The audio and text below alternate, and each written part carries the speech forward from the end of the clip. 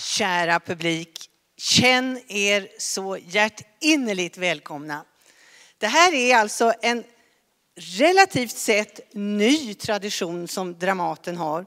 Att nämligen ha en kväll på sin stora scen och ägna den till årets Nobelpristagare i litteratur. Och ikväll har vi samlats här allihopa och det är fantastiskt därför vi också har Nobelpristagaren själv här ikväll. Och vi har också några väldigt intressanta och bra skådespelare som kommer att läsa ur hans verk. Och eh, jag vill bara att vi ska börja så fort som möjligt. Vill inte ni det? Jo. Så att jag ber nu att få välkomna kvällens programledare som heter Kerstin M Lundberg och Patrick Modiano.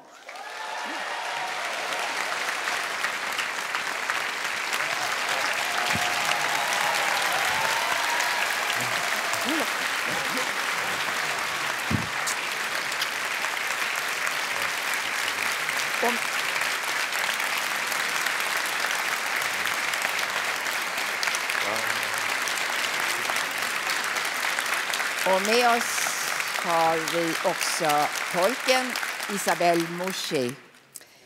Cher, cher Patrick Modiano, nous sommes très heureux, très honorés que vous soyez ici à Dramaten avec nous ce soir. Moi, beaucoup aussi, puisque c'est un de mes théâtres, c'est un de mes théâtres préférés. Det är min Avec, euh, favoritteater. Et, et toutes nos félicitations évidemment pour le prix Nobel. Merci. Et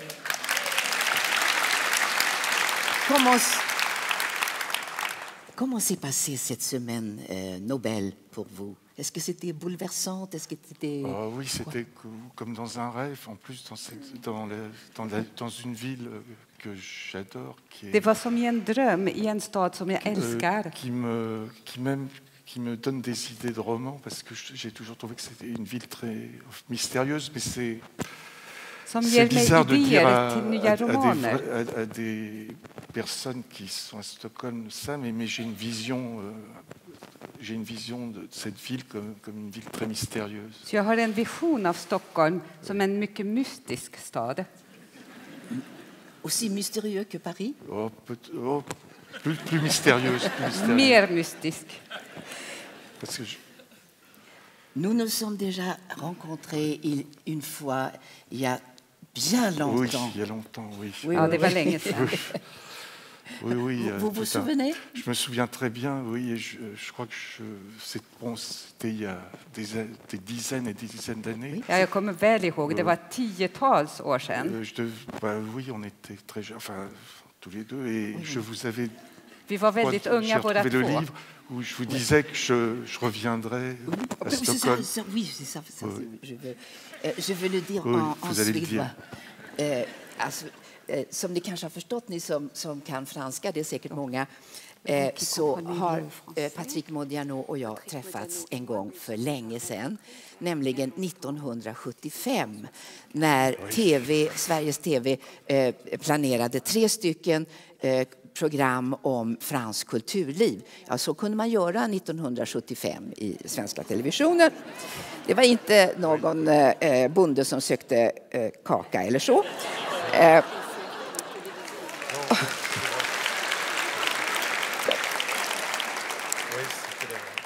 Och då så sa vi, när vi satt och spånade som man säger när man försöker hitta på idéer, hur ska de här programmen se ut?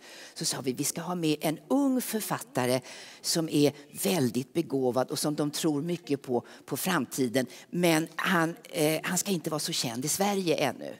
Och så pratade vi med våra kontaktpersoner i Paris och då sa de Patrick Modiano. Och på det sättet så kom jag att eh, få göra en tv-intervju med Patrick när, precis när hans fjärde bok hade kommit ut på franska, Villa Trist. Och när vi hade gjort intervjun färdigt så bad jag naturligtvis att han skulle skriva en dedikation i boken.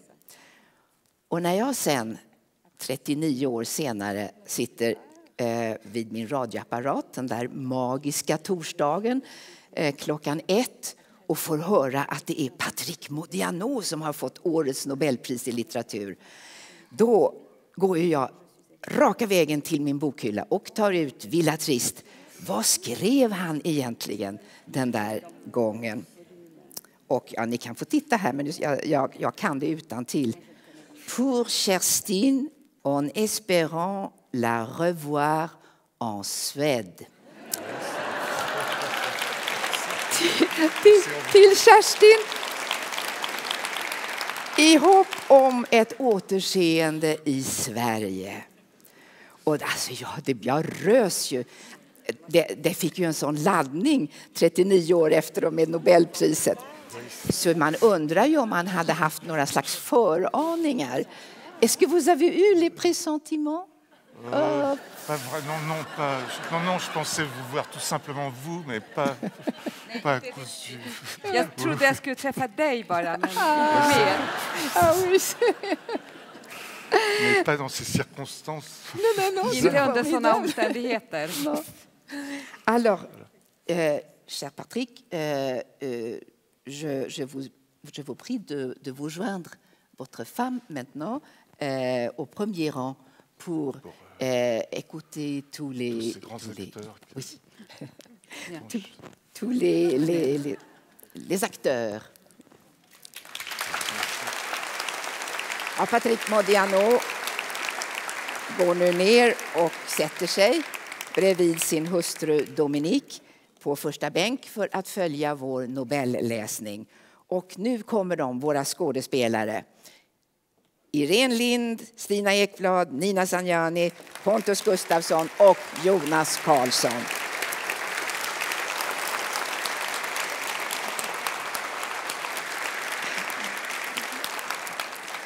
Och vi börjar helt enkelt med första sidan ur Nätternas gräs. Ändå drömde jag inte. Ibland ertappar jag mig själv med att säga den meningen högt på gatan. Som om jag hörde någon annans röst. En klanglös röst. Namn dyker upp i medvetandet. Vissa ansikten. Vissa detaljer. Ingen att dryfta det med längre. Ett par, tre vittnen borde ännu vara i livet. Men eh, de har förmodligen glömt alltsammans. Till slut frågar man sig om det verkligen har funnits några vittnen. Nej, jag drömde inte. Beviset är en fullklottrad svart anteckningsbok som jag fortfarande har kvar. I den här dimman behöver jag exakta ord, så jag slår i min ordlista anteckning. Kortare nedskriven text som stöd för minnet. På anteckningsbokens sidor står det namn, telefonnummer, mötestider och även korta stycken som kanske har någonting med litteratur att göra. Men till vilken kategori ska man hänföra dem? Dagbok? Minnesfragment? Och så hundratals avskrifter av tidningsannonser. Bortsprungna hundar. Möblerade lägenheter. Lediga platser. Stjärna lägges.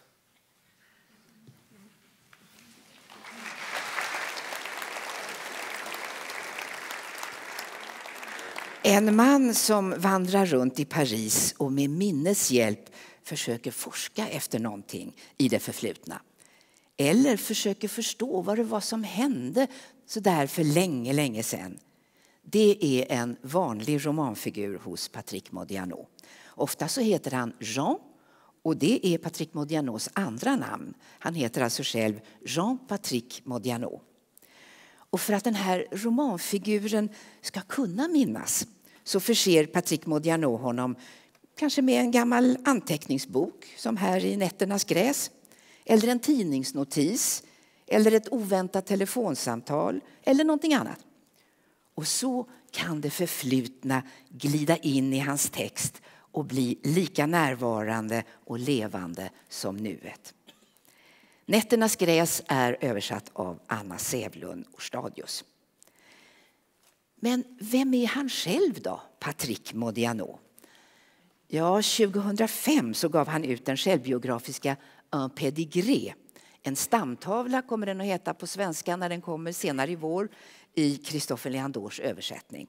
Och det är inte någon vanlig självbiografi utan snarare en sorts redogörelse som Modiano gör för vissa omständigheter under sin uppväxt. Och vi ska nu få höra några korta stycken ur en stamtavla.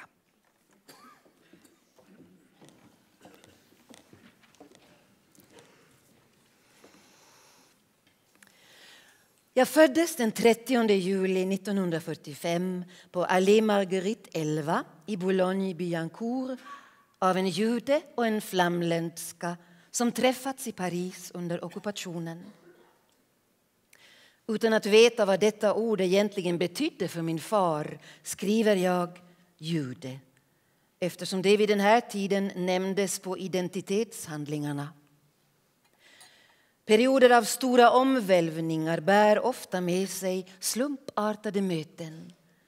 Detta i så hög grad att jag aldrig känt mig som ett inomäktenskapligt barn och ännu mindre som någon arvinge. Min mor föddes 1918 i Antwerpen. Hon var en vacker flicka med kallt hjärta. Hennes fästman hade gett henne en show-show. Men hon tog inte hand om den utan anförtrodde den åt allehanda individer precis som hon senare skulle göra med mig. Show-showen tog livet av sig genom att hoppa ut genom fönstret. Denna hund förekommer på ett par fotografier och jag måste erkänna att den gör mig oändligt berörd och att jag känner en stor frändskap med den. Modianos far, Albert, föddes i Paris 1912 men han hade sina rötter i Italien och Grekland. Hans far dog när Albert bara var fyra år gammal och Albert fick klara sig ganska mycket själv. Och redan som tonåring så började han med lite äventyrliga affärer. Ibland gick det bra, ibland mindre bra.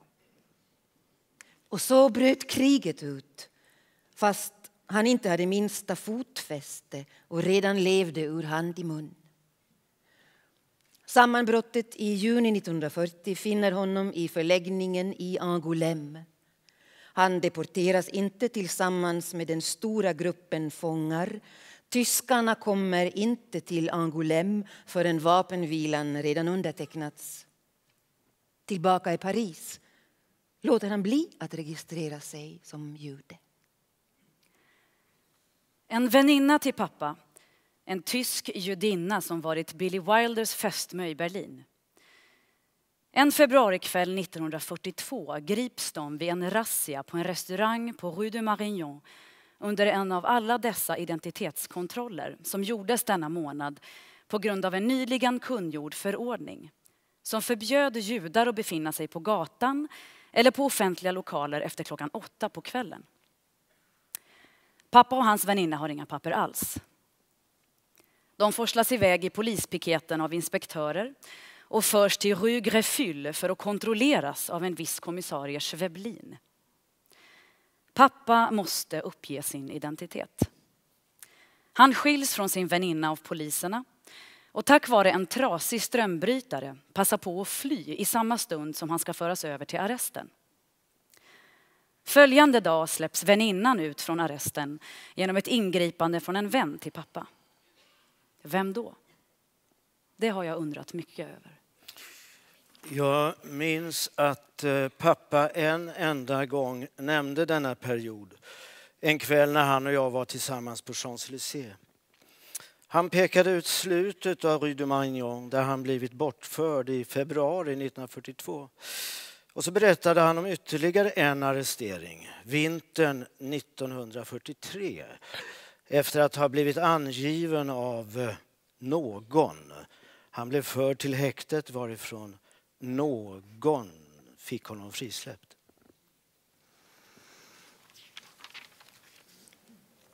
Våningen på Quai du Conti. På tredje våningen kan vi om kvällarna höra röster och plötsliga skratt från rummet intill där mamma umgås med sina vänner från Saint-Germain-des-Prés. Jag ser henne sällan. Jag kommer inte ihåg en enda gest av verklig ömhet eller omsorg från hennes sida. Jag var alltid en smula på min vakt i hennes närvaro. Hennes plötsliga vredesutbrott oroade mig. Och eftersom jag gick i söndagsskolan bad jag för att Gud skulle förlåta henne. På fjärde våningen hade pappa sitt kontor. Han var ofta i sällskap av två, tre personer där. De satt i fåtöljerna eller på soffans armstöd. De talade sinsemellan.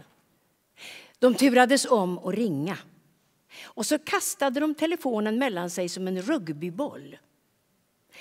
Då och då anställde pappa unga kvinnor, konststudenter, för att ta hand om oss. Han bad dem svara i telefon och säga att han inte var där. Han dikterade brev för dem. I början av 1952 anförtror mamma åt oss åt sin väninna Susanne Bouquereau som bor i ett hus på Rue du Docteur Coursen i Choix-en-Chaussas. Jag går i Jeanne d'Arc-skolan i slutet av gatan och senare på en kommunal skola. Min bror och jag är korgossar i midnattsmässan i traktens kyrka. En morgon i februari 1953 kommer pappa och hämtar min bror och mig i bil i det tomma huset och tar oss med till Paris. Senare får jag veta att Suzanne Bouquereau arresterats för inbrott. I oktober 1956 börjar jag som internatelev på Månsellskolan i Chouillan-Chaussas. Jag kommer att ha prövat varenda skola i Chouillan-Chaussas. De första nätterna i sovsalen är svåra och jag vill ofta gråta. Men snart kom jag på en övning för att fatta mod. Koncentrera uppmärksamheten på en bestämd punkt, en sorts talisman. I just det här fallet rörde det sig om en liten svart plasthäst. I februari 1957 förlorade jag min bror Rudi. En söndag kom pappa och farbror Ralf och hämtade mig på internatskolan. På vägen till Paris stannade farbror Ralf som körde bilen och gick ur för att lämna mig och pappa ensamma. I bilen berättade pappa att min bror var död. Förra söndagen hade vi tillbringat eftermiddagen tillsammans i vårt rum på Quai de Conti med att sortera vår frimärkssamling. Jag måste vara tillbaka på skolan klockan fem och jag förklarade för honom att ett teatersällskap skulle uppföra en pjäs för eleverna i internatets lilla teater. Jag glömmer aldrig blicken han gav mig den söndagen. Frånsett min bror Rudi och hans död tror jag inte att något av allt det som jag har att anföra här berör mig på djupet. Jag skriver dessa sidor som man uppför ett protokoll eller en meritförteckning.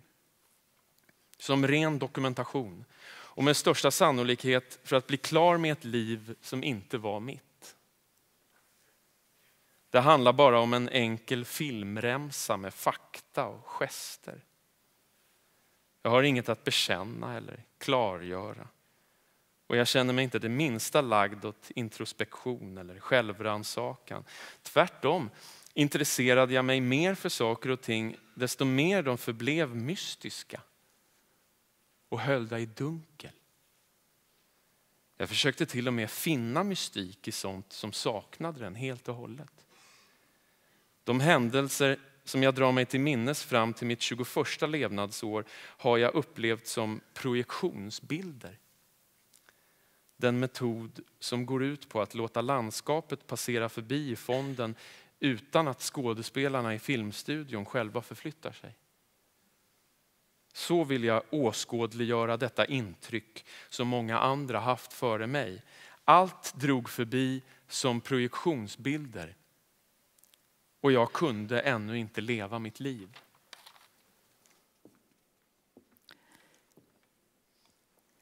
Patrik Modianos föräldrar skiljer sig så småningom och relationen till pappan blir allt sämre med åren. Och när pappan ordnar att han blir inskriven i militärtjänsten så utbryter en hetsk brevväxling dem emellan. Patrick skriver. Paris den 4 augusti 1966. Min bäste herre. Ni känner till att under förra seklet berusade tvångsvärvarna sina offer och fick dem att skriva på sina värvningspapper. Er brådska att vilja släpa med mig till kasernen i Rui påminner mig om detta tillvägagångssätt. Militärtjänsten är ett utmärkt tillfälle för er att bli av med mig. Kort sagt har jag bestämt mig för att handla enligt eget gottfinnande och sätta mig över era beslut. Mitt läge är alltså följande. Jag är 21 år, jag är myndig och ni har inte ansvar för mig längre. Paris den 9 augusti 1966. Jag har fått ditt brev av den 4 augusti adresserat inte till din far utan till min bäste herre, vilket jag väl får känna igen mig i. Din oärlighet och ditt hyckleri har inga gränser. Din inkallelse till militärtjänstgöring var inget lättvindigt beslut. Jag bedömde det som helt nödvändigt, inte bara att du bytte klimat utan att du fick utvecklas i ett sammanhang präglat av disciplin istället för drömmeri. Din hånfullhet är motbjudande. Jag noterar ditt beslut. Albert Modiano. Jag återsåg honom aldrig. Patrick Modiano är egentligen inte någon självbiografisk författare.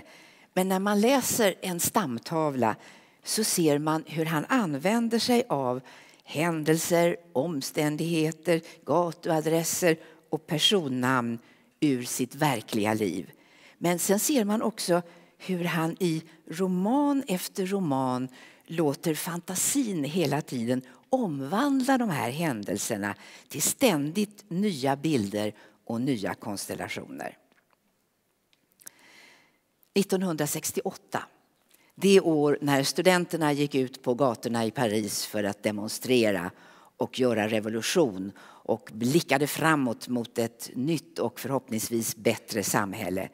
Då debuterar den 22-årige Patrick Modiano med en roman som blickar bakåt mot de mörka och svåra åren i början av 40-talet då Frankrike var ockuperat av tyskarna. Det här var år som Modiano ju inte själv hade upplevt. Han är född 1945 men som han ständigt lever i skuggan av. Inte minst på grund av sin far. Debutboken hette Place de l'Etoile och det är en våldsamt sarkastisk, ironisk och bitvis faktiskt uppsluppen roman som till tonen helt avviker från allt annat som Modiano kom att skriva. I Place de l'Étoile skymtar man också en far. Och han återkommer sen i Modianos tredje roman, De yttre boulevarderna, Les boulevards de ceinture. Där utspelas det i boken som kallas Den plågsamma episoden i metron vid Roche 5. Fadern och berättarjaget har gjort en utflykt tillsammans en söndag och på väg hem så har de stigit av vid stationen Roche 5 för att byta tunnelbanetåg. Vi ställde oss att vänta på perrongen. Min far var på dåligt humör och höll sig bakom mig. Så småningom blev stationen lika full som vid rusningstid. Alla dessa människor var nu på väg hem efter en promenad på Champs-Élysées eller ett biobesök. Alla trängdes om varandra. Jag stod i första ledet, alldeles intill spåret. Jag hade ingen möjlighet att ta ett enda steg tillbaka. Jag vände mig om mot min far. Svetten rann nerför ansiktet på honom. Nu kom tåget dundrande. I samma ögonblick det blev synligt kände jag en hård knuff i ryggen. Efteråt ligger jag på en av stationsbänkarna. Runt omkring mig står en liten grupp nyfikna. Jag hör surret av deras röster. En av dem böjer sig ner mot mig och säger att det var minsann med nöd och näppe som jag hade klarat mig. Två poliser hjälper mig på benen. De håller mig stadigt under armarna. Vi går tvärs över stationen. Människor vänder sig om efter oss. Min far följer tveksamt efter. Vi stiger in i polisbilen som står parkerad på Avenue Chorsank. Kunderna på Fouquets terrass njuter av den vackra sommarskymningen. Vi sitter där bredvid varandra. Min far håller huvudet nerböjt. De båda poliserna mitt emot oss tiger.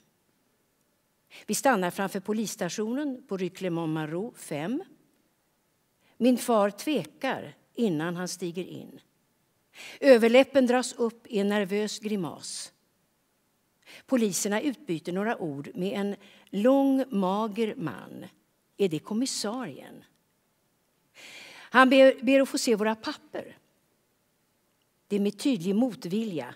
Min far räcker honom sitt nansenpass. Flykting? frågar kommissarien. Jag kommer snart att bli naturaliserad, mumlar min far. Han måste ha tänkt ut det svaret i förväg. Men min son är fransman. Och i en viskning tillägger han och student. Kommissarien vänder sig mot mig. Ni var alltså nära att falla under tåget. Jag tiger. Som väl var var det ju någon som fick tag i er. Annars hade ni nog varit rätt illa åtgången nu. Ja, någon hade räddat mitt liv genom att hugga tag i mig just då jag höll på att förlora jämvikten. Jag har ett mycket oklart minne av de där minuterna. Hur kom det sig att ni skrek eh, mördare flera gånger efter varann medan de bar bort er till bänken, återtar kommissarien. Så vänder han sig till min far. Lider er son möjligen av förföljelsemani? Han ger honom ingen tid att svara. Istället vänder han sig på nytt till mig och säger helt oförmedlat eller var det kanske någon som gav er en knuff i ryggen? Tänk efter. Ni har god tid på er. Om ni misstänker någon, så tveka inte att tala om det. Jag är här för att höra på er. Tiden gick. Min far visade olika tecken på nervositet. Jag tror till och med att han vred händerna. När allt kom omkring var han i mitt våld. Och det visste han. Varför skulle han annars gång på gång ge mig dessa ängsliga blickar? Jag var tvungen att böja mig för faktum. Någon hade knuffat till mig för att jag skulle ramla ner på spåret och bli krossad till mos under tåget. Och denne någon var den här herrn med det orientaliska utseendet som satt bredvid mig. Beviset. Mot ena skulderbladet hade jag känt trycket av hans sigillring. Som om man kunnat gissa sig till mina tankar sa kommissarien i förströdd ton Kommer ni bra överens med er far?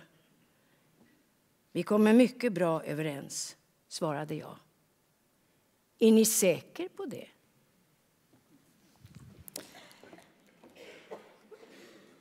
De yttre boulevarderna är översatt av Ann-Marie Edeus. Och Patrick Modiano lär en gång ha blivit tillfrågad av en fransk journalist om hans far i verkligheten hade försökt knuffa ner honom framför ett tåg. Och då ska Modiano ha svarat nej, det är påhitt, men han ville ju bli av med mig. Så kan verklighet och fiktion fungera hos Patrick Modiano. Minnet och glömskan är viktiga teman hos honom. I De dunkla butikernas gata, Rue de Boutique Obscure, också den översatt av Ann-Marie Edeus, så lider huvudpersonen, en eh, privatdetektiv, sedan 15 år tillbaka av minnesförlust. Och nu så bestämmer han sig för att ta reda på vem han var före olyckan. Och han börjar göra efterforskningar. Han träffar personer som kanske kan ge honom några ledtrådar om hans riktiga identitet. Som här, en gammal barpianist som har varit gift med den mystiska balettdansösen G. Vi gick förbi parken och svängde av in på Avenue de New York. Där, under träden på kajen, fick jag en obehaglig känsla av att jag drömde. Jag hade redan levt mitt liv och var nu bara en gengångare som gled fram genom den ljumma luften en lördagkväll. Varför sträva efter att återknyta de avskurna banden och leta efter öppningar som så länge varit igenmurade? Jag hade också svårt att tro att den lille fete mustaschprydde mannen vid min sida var verklig. Det var konstigt. Nu kommer jag plötsligt ihåg namnet på den där fransmannen som G lärde känna i Amerika. Vad hette han? frågade jag med en darrning på rösten. Howard. Mm, det var hans efternamn, inte hans förnamn. Vänta ett tag. Howard. De någonting. Jag stannade och lutade mig ner mot honom. Howard. De. Vadå? De. De. De Luz, Howard de Howard de Namnet frapperade mig faktiskt. Till hälften engelskt, till hälften franskt eller spanskt. Förnamnet då? Ja, det... Han gjorde en hjälplös gest. Vet ni hur han såg ut? Nej. Jag beslöt mig för att visa honom det foto av G där hon var tillsammans med gubben Georgiace och den man jag trodde var jag. Och eh, vad hade han för yrke då, den där Howard Deleuze?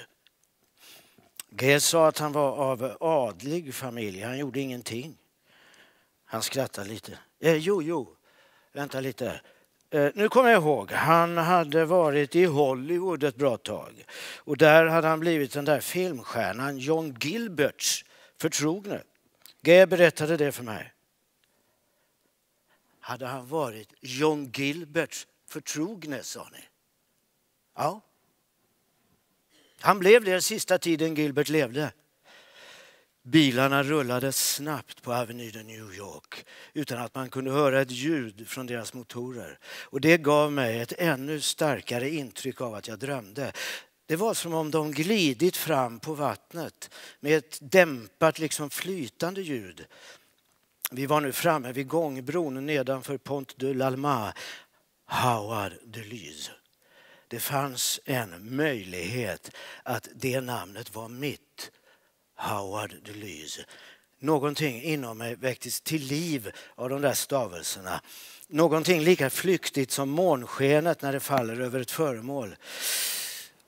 Om jag nu var den där Howard Deleuze måste jag ha levat ett tämligen originellt liv eftersom jag bland så många yrken, det ena aktningsvärdare och mer fängslande än det andra, hade valt att bli John Gilberts förtrogne.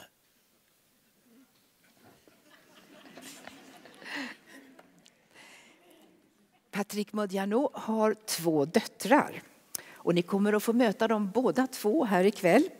Marie Modiano är den första. Hon är sångerska och eh, hon ska framföra två sånger tillsammans med sin svenske make Peter von Pohl och musikern Martin Hederos. S'il vous plaît.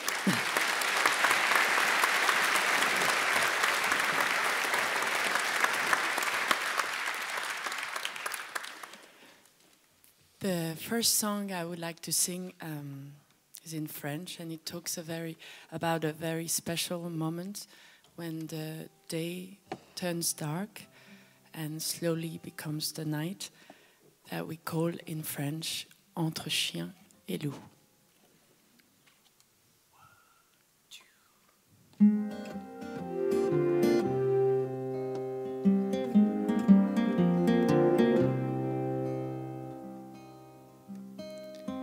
Qu'on appelle le veilleur, les sentinelles.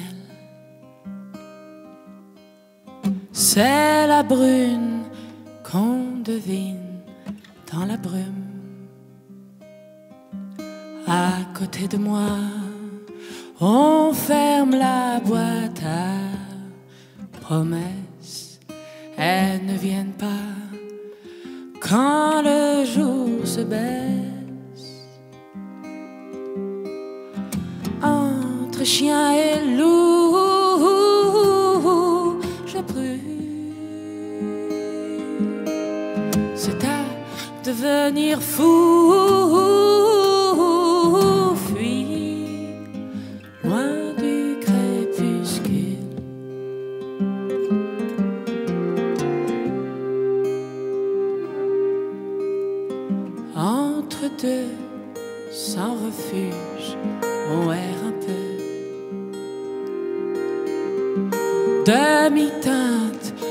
demi-rêve, long labyrinthe. La pénombre afin de secrets qu'on dit à l'oreille. On attend en vain que le jour s'en aille. Entre chien et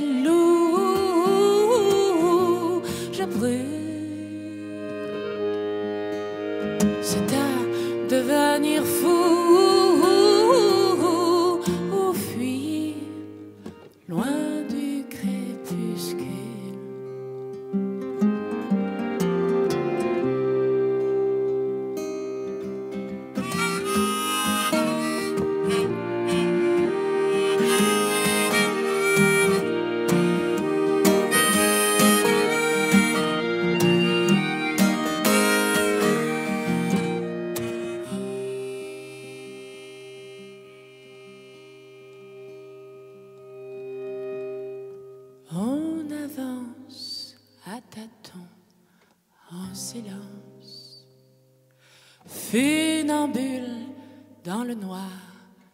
basque.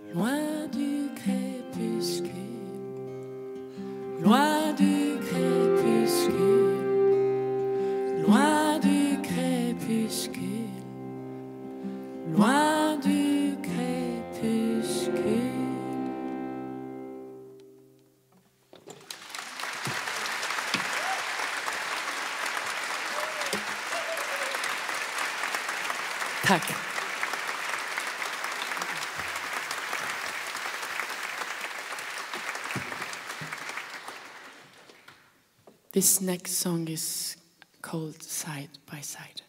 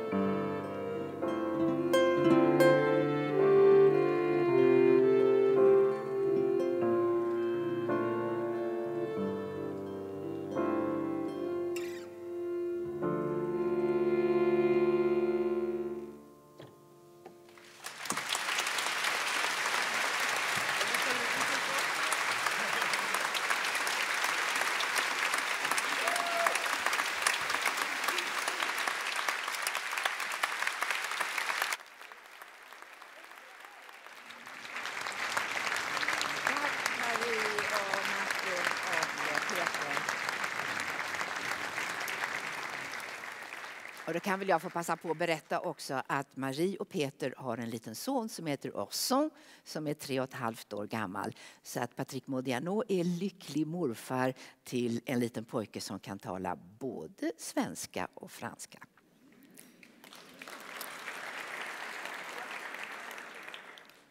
Staden Paris är ett återkommande tema hos Modiano.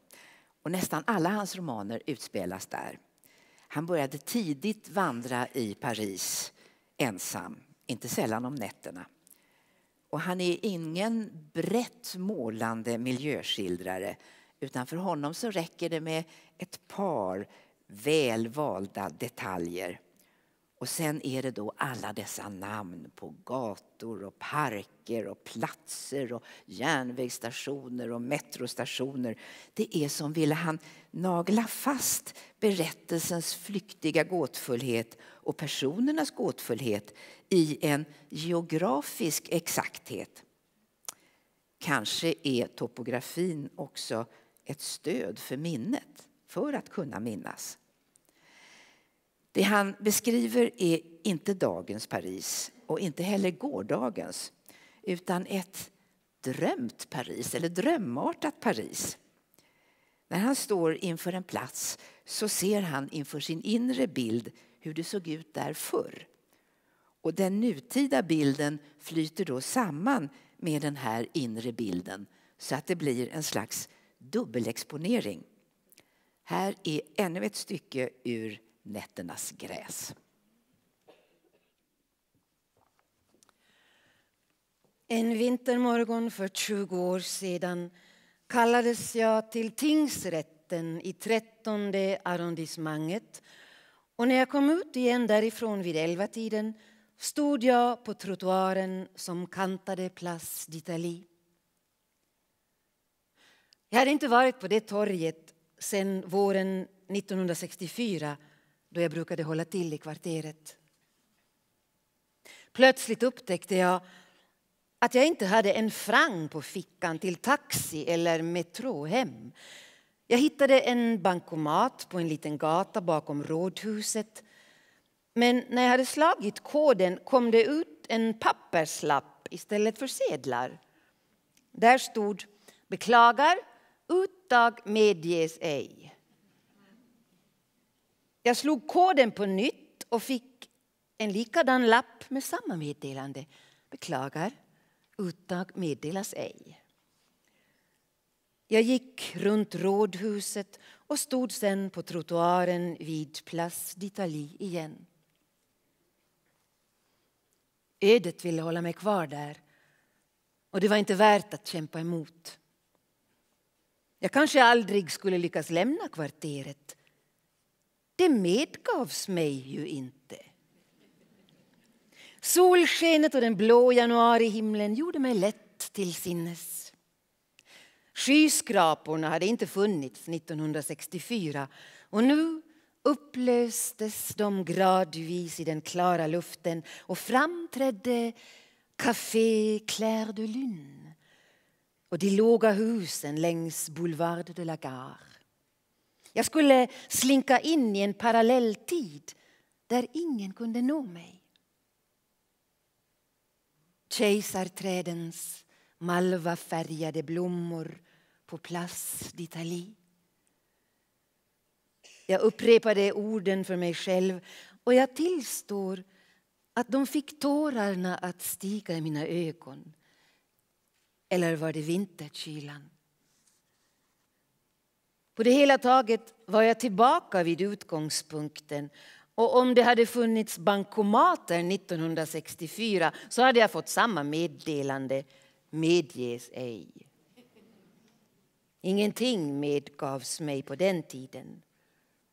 Jag saknade varje form av berättigande. Ingen familj. Ingen tillhörighet i någon bestämd socialgrupp. Jag svävade fritt i Parisluften.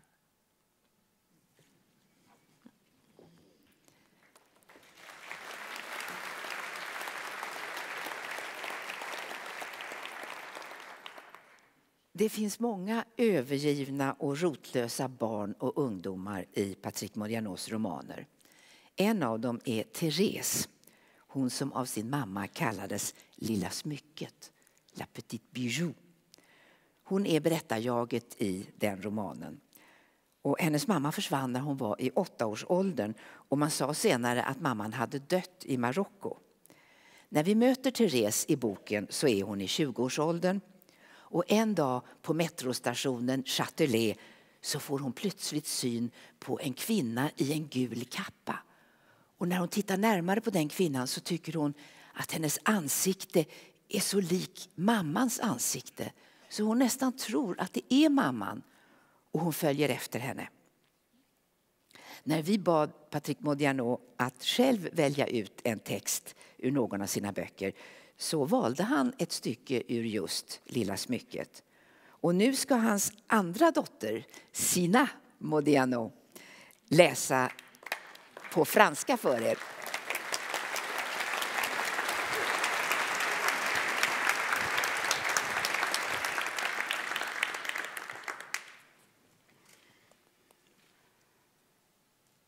Avançait lentement, de sa démarche d'ancienne danseuse. Ça ne devait pas être facile avec les panchos. L'immeuble écrasait tous les autres bâtiments de sa masse sombre. On se demandait pourquoi on l'avait construit dans cette rue. Au rez-de-chaussée, un magasin d'alimentation sur le point de fermer. On avait déjà éteint les néons, il ne restait plus qu'une lumière à la caisse. Je la voyais derrière la vitre prendre à l'étalage du fond une boîte de conserve, puis une autre, et un paquet noir, du café, de la chicorée. Elle serrait les boîtes de conserve et le paquet contre son manteau, mais arrivée devant la caisse, elle a eu un faux mouvement. Les boîtes de conserve et le paquet noir sont tombés. Le type de la caisse les a ramassés. Il lui souriait. Leurs lèvres bougeaient à tous les deux et j'aurais été curieuse de savoir comment il l'appelait. Par son vrai nom de jeune fille Elle est sortie et elle serrait toujours les boîtes de conserve et le paquet des deux bras contre son manteau, un peu comme on porte un nouveau-né. J'ai failli lui proposer mon aide. Mais la rue du quartier de cavalerie m'a brusquement semblé très loin de Paris, perdue au fond d'une province, dans une ville de garnison. Bientôt tout fermerait, la ville serait déserte et je manquerais le dernier train. Elle a franchi la grille. Dès que j'avais vu de loin cette masse de briques sombres, j'avais eu le pressentiment qu'elle habitait là. Elle traversait la cour, au fond de laquelle s'élevaient plusieurs immeubles semblables à celui de la rue. Elle marchait de plus en plus lentement, comme si elle avait peur de laisser tomber ses provisions. De dos, on aurait dit qu'elle portait un poids trop lourd pour ses forces et que c'était elle, à chaque instant, qui risquait de tomber. Elle est entrée dans l'un des immeubles, tout au fond, vers la gauche. Chacune de leurs entrées portait l'indication escalier A, escalier B, escalier C, escalier D. Elle, c'était l'escalier A. Je suis restée un moment devant la façade et j'attendais qu'une fenêtre s'allume. Mais j'ai attendu pour rien. Je me suis demandé s'il y avait un ascenseur. Je l'ai imaginé montant l'escalier A et serrant contre elle les boîtes de conserve. Cette pensée ne me quittait pas, même dans le métro du retour. Hon gick långsamt med den forna dansösens sviktande gång. Det var nog inte lätt i Panchos. Med sin mörka massa krossade byggnaden alla de andra husen. Man kunde fråga sig varför den hade uppförts på den här gatan. På nedre botten fanns en livsmedelsaffär som just höll på att stänga för dagen. Lysrören hade redan släckts och kvar var bara en lampa vid kassan. Genom rutan såg jag henne ta en konservburk på hyllan längst in och sedan en till. och ett svart paket. Kaffe. Cikoria. Hon höll konservburkarna och paketet tryckta mot kappan men framme vid kassan snubblade hon. Konservburkarna och paketet föll i golvet. Mannen i kassan plockade upp dem. Han log mot henne. Båda släppar rörde sig och jag skulle så gärna velat veta hur han tilltalade henne. Med det namn som var hennes ursprungliga. Hon gick ut igen och hon tryckte fortfarande konservburkarna och paketet med båda händerna mot kappan. Ungefär som man håller en nyfödd. Jag var nära att erbjuda henne min hjälp. Men plötsligt föreföll mig denna Rue du Cartier Cavalerie befinna sig fjärran från Paris i en landsortshåla, en garnisonstad. Snart skulle allt vara stängt. Staden ligga öde och jag skulle missa sista tåget. Hon gick in genom gallergrinden. Så snart jag på långt håll hade fått syn på detta stora hus av mörkt tegel hade jag anat att hon bodde där.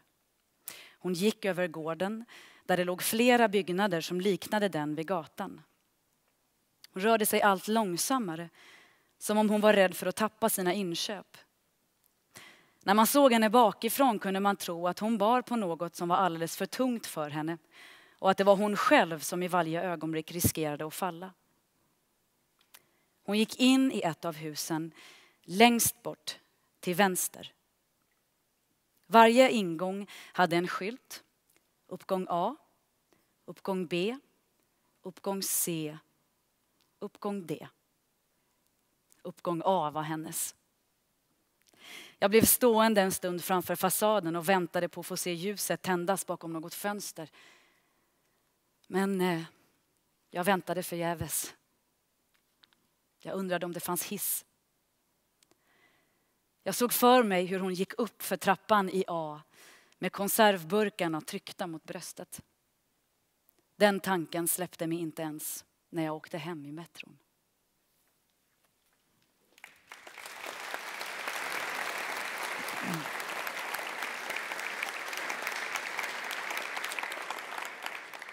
Lilla smycket är översatt till svenska av Pontus Grate.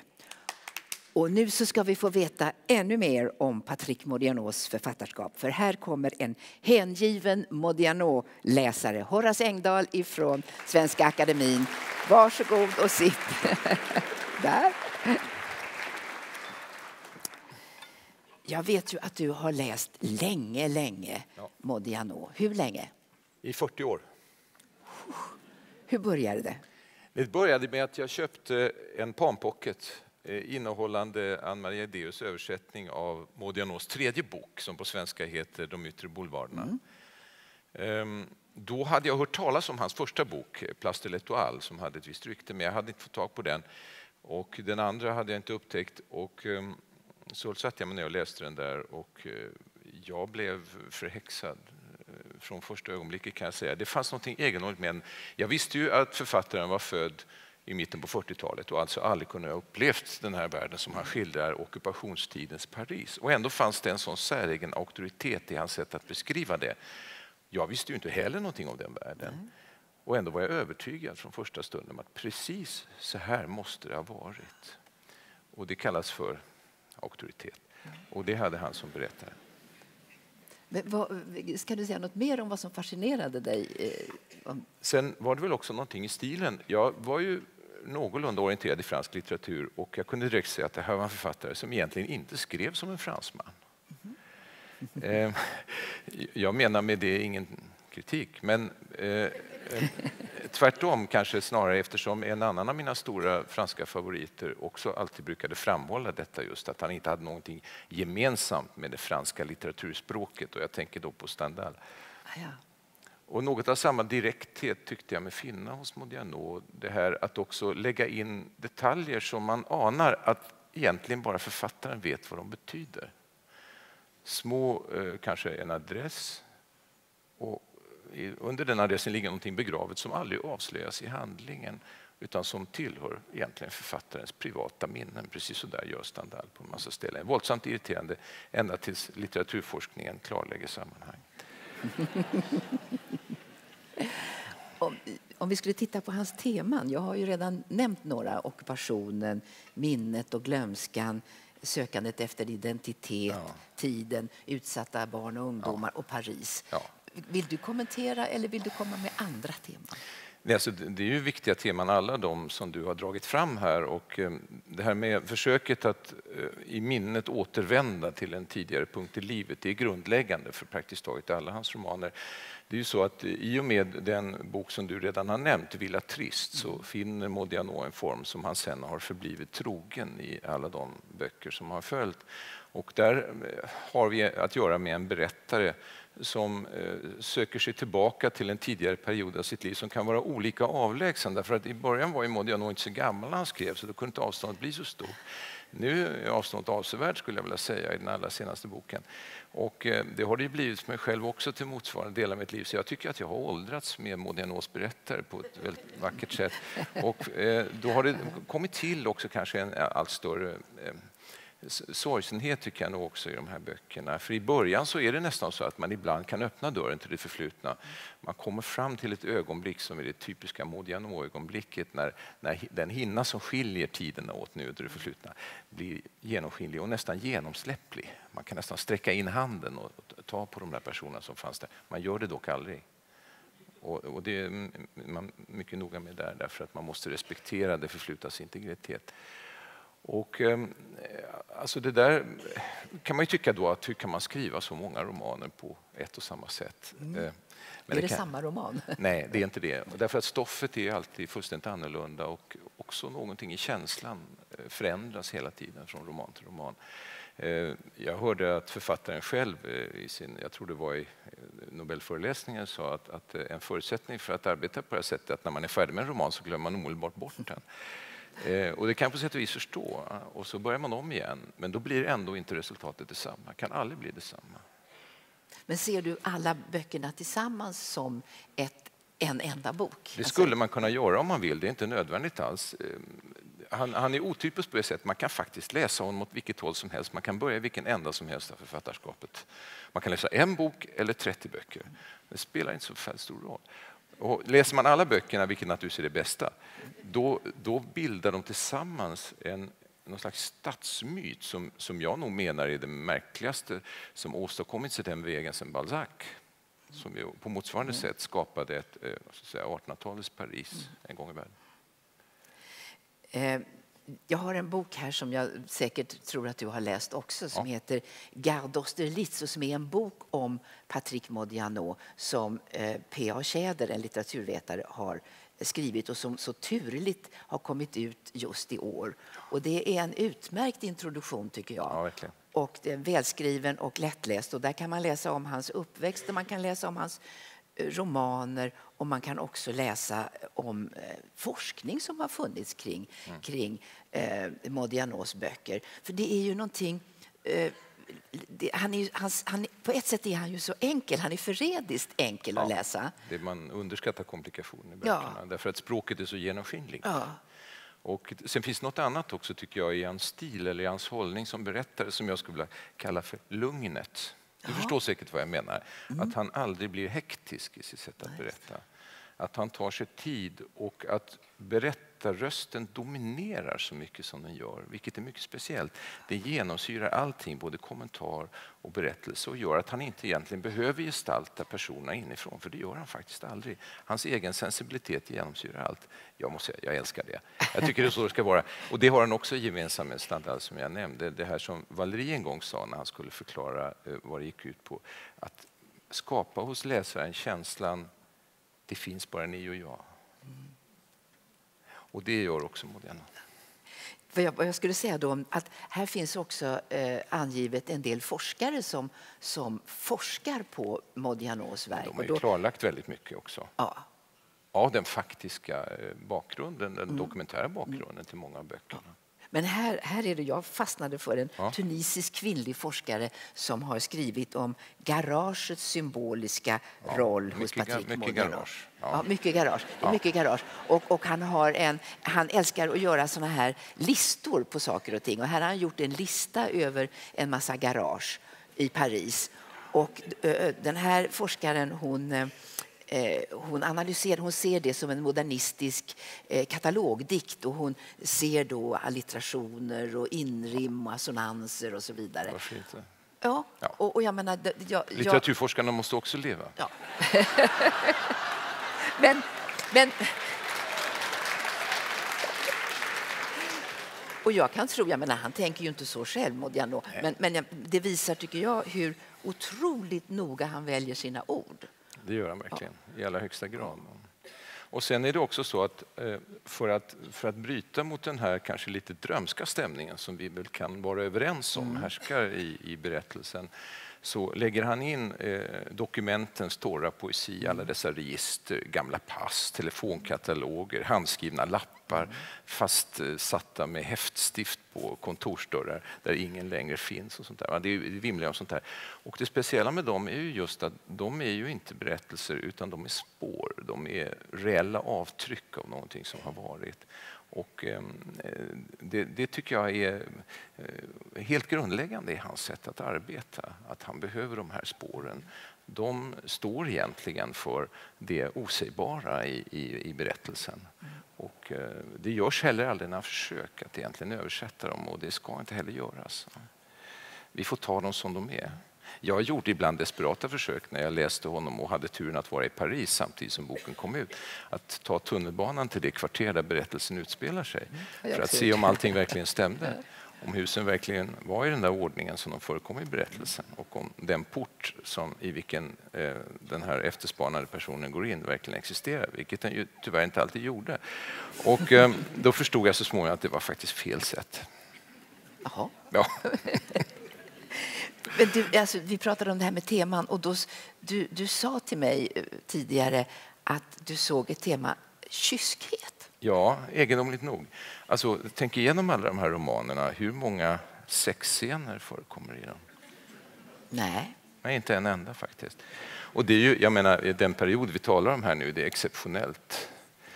Eh, Men det är ett slags eh, återhållsamhet. För det. Man kan föreställa sig eh, även erotiska förbindelser i en del av de eh, sammanhang som återberättas i romanerna. Men de tillhör inte berättelsen. De har inte där att göra.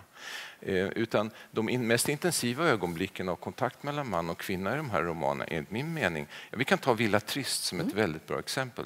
Det är faktiskt en av mina älsklingsböcker. Eh, Eh, eh, huvudpersonen där, en viss Viktor Chmara, tillbringar en tid eh, uppe vid en liten ort i närheten av Genèvesjön, strax intill schweiziska gränsen. Och där lär han känna en, en flicka, en skådespelerska som heter Yvonne, som vistas där i sällskap med en mystisk doktor Mant som har en stor villa och eh, som är nästan tom på möbler. Och där, man vet inte riktigt vad de här personerna egentligen gör. Men hu- huvudpersonen, eller berättaren, Viktor förälskar sig i den här Yvonne. Och då sitter de tillsammans i den här halvtomma salongen under långa eftermiddagar och ser ljuset sjunka. Och ingenting händer. Det är en enastående skildring av total orörlighet, vilket är mycket svårt. Men det är inte det, är inte, det, är inte det värsta. Utan det värsta är att, att Modiano då lyckas med någonting som nästan ingen författare någonsin lyckas med. Nämligen att framställa lycka. Han framställer den svindlande lycka att bara befinna sig i närheten av någon som man är djupt förälskad i. Och då behöver vi inte de där sexscenerna. Be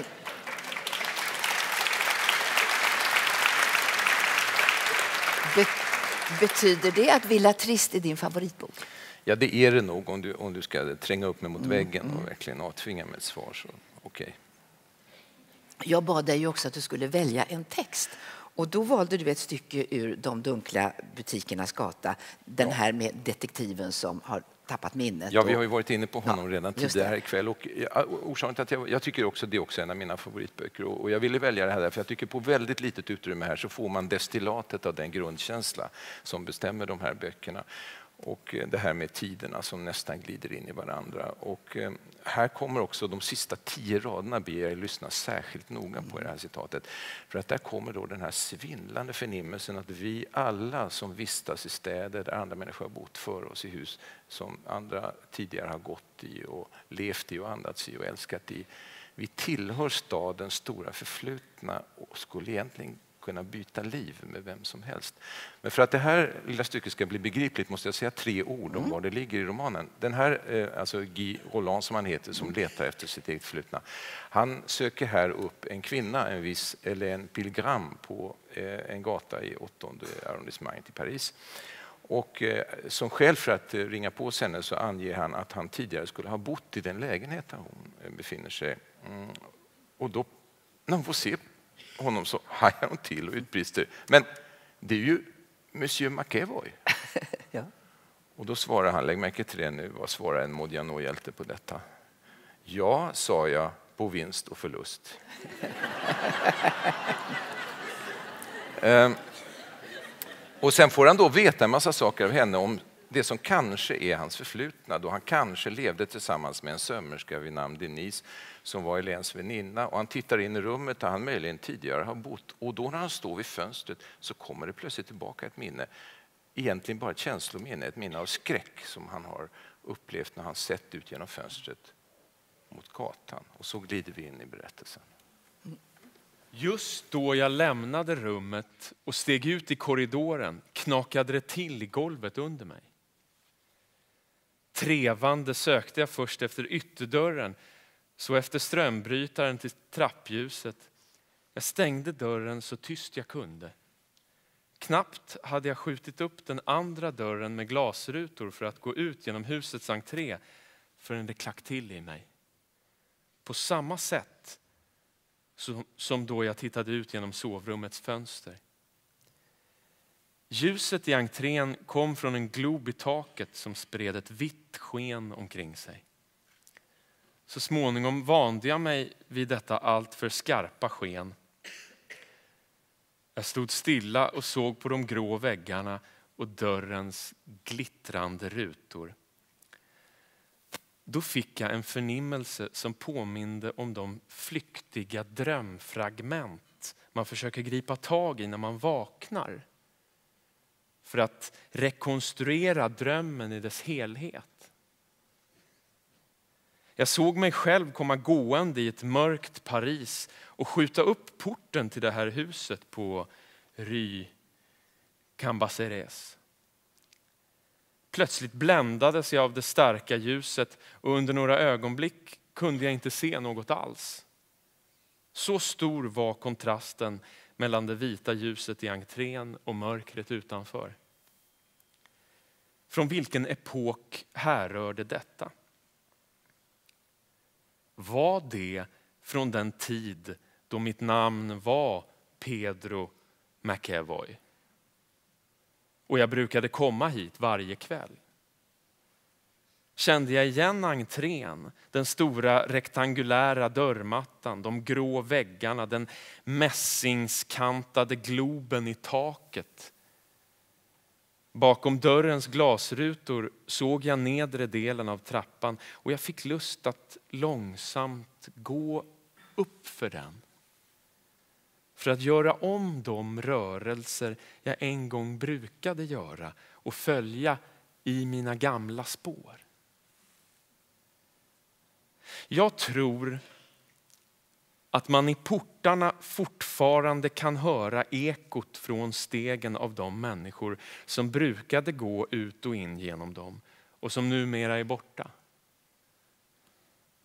Någonting fortsätter att vibrera sedan de har passerat. Vågor som blir svagare och svagare men som kan uppfångas av den påpasslige. I själva verket hade jag kanske aldrig varit den där Pedro McEvoy. Jag var ingenting. Men vågor, ibland långt borta, ibland starkare, strömmade genom mig och så småningom kristalliserades alla dessa spridda ekon som svävade omkring i luften och blev jag.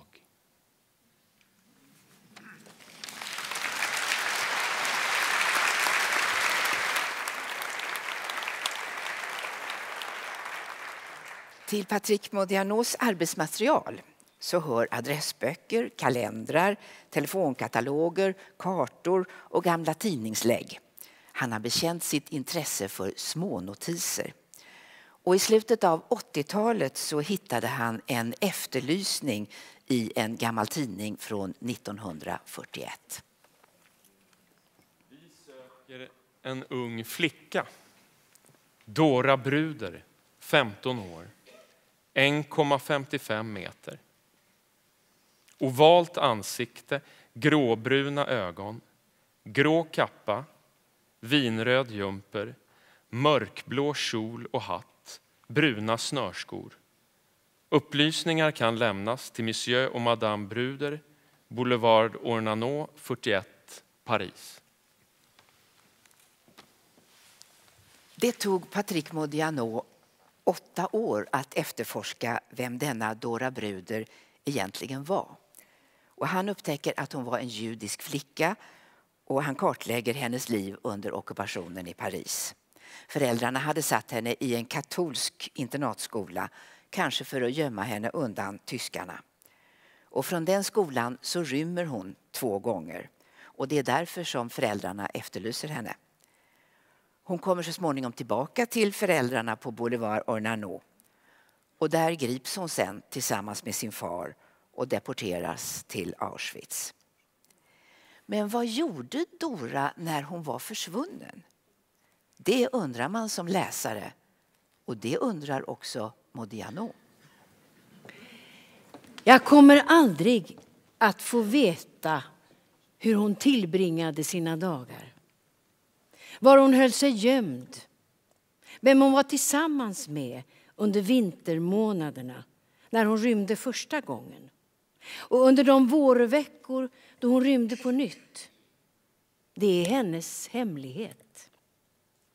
En torftig och dyrbar hemlighet som bödlarna, polisförordningarna de så kallade ockupationsmyndigheterna, häktet, kasernerna, lägren, historien, tiden. Allt detta som solkar och förstör oss aldrig kan beröva henne. Dora Bruder är översatt av Madeleine Gustafsson och med den här dokumentära skildringen så har Patrick Modiano räddat Dora Bruder ur glömskans mörker. Men medan han höll på med sina efterforskningar om den verkliga Dora så skrev han en roman med utgångspunkt i samma efterlysning. Och den flickan, också hon judinna, hon får heta Ingrid och Modiano låter henne bo inte på Boulevard Ornano nummer 41 där Dora bodde utan på Boulevard Ornano 39B. Ingrid lyckas undkomma deportation därför att hon just den här kvällen får en ingivelse att hon inte ska gå hem till sin far. Hon gick inte av vid Saint-Plon som vanligt utan vid Barbès Rochoir. Klockan var halv sex. Hon föredrog att gå i friska luften till hotellet. Grupper av tyska soldater och fransk polis stod uppe vid infarten till Boulevard Barbès som vid en gränspostering. Hon fick en förkänsla av att om hon slog in på boulevarden tillsammans med dem som återvände till 18 arrondissemanget skulle gränsen stängas bakom henne för alltid. Hon följer Boulevard Rochechouart på vänster trottoar som faller inom nionde arrondissemanget. Då och då kastar hon en blick på den motsatta trottoaren som markerar gränsen för utegångsförbudet. Och där är det mycket mörkare trots att tidpunkten ännu inte är inne. Det är fortfarande 15 minuter kvar innan gränsen stängs. Och om hon inte går över den före den tidsgränsen kommer hon inte längre att kunna återvända till sin far på hotellet. Metrostationerna i kvarteret kommer också att stängas klockan sex. Place Pigalle, en annan gränspostering. Tyska soldater runt en lastbil. Men hon går rakt fram, på samma trottoar, längs Boulevard de Clichy. Nu bara tio minuter. Place Blanche. Där stannar hon ett ögonblick. Hon gör sig beredd att gå över torget och gränsen, tar tre steg framåt men hejdar sig på nytt. Hon går tillbaka längs trottoaren vid Place Blanche i nionde arrondissementet. Fem minuter. Hon får inte ge efter för svindeln och låta sig uppslukas av mörkret som breder ut sig på andra sidan. Hon måste hålla sig till trottoaren i nionde arrondissementet. Hon går fram och tillbaka mellan Café de Palmiers och apoteket vid Place Blanche.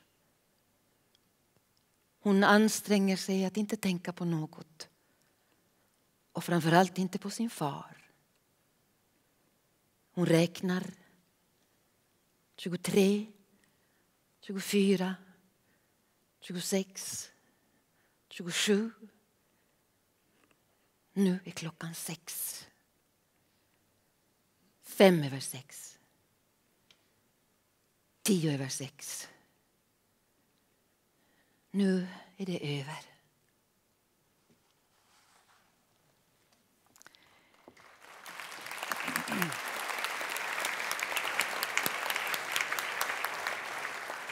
Texten var ur romanen Bröllopsresa, Voyage de Nos i översättning av Katja Valdén.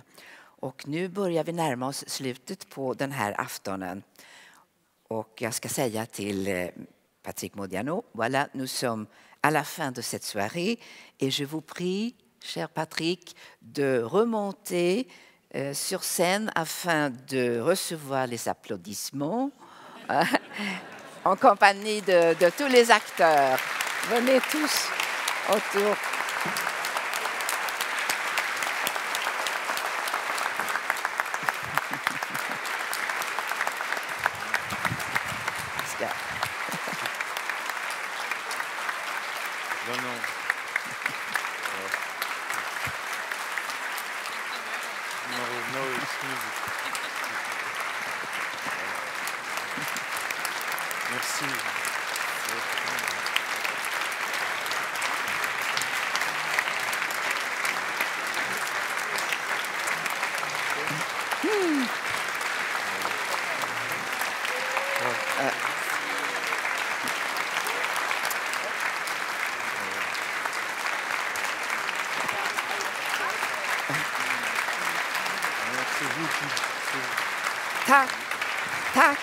Medverkande.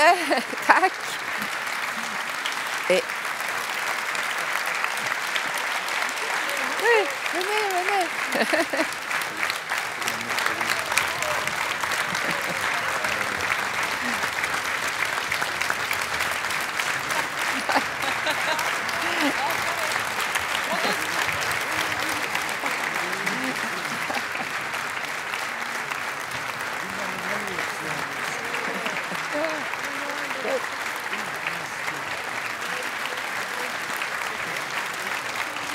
nej.